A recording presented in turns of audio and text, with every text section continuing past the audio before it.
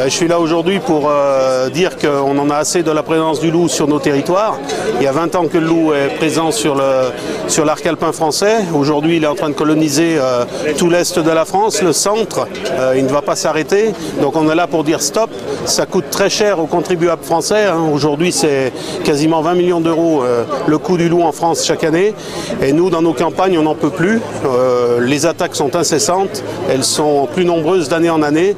Et ça va être à terme la fin de l'élevage ovin si le loup continue à être présent sur le territoire.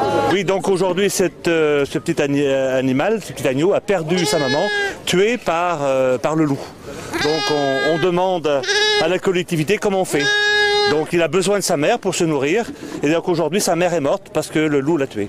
Donc voilà, c'est un peu l'explication qu'on veut apporter aujourd'hui sur la, sur la place parisienne, que la stupidité de ce loup, aujourd'hui, c'est pas compatible avec euh, le monde de l'élevage.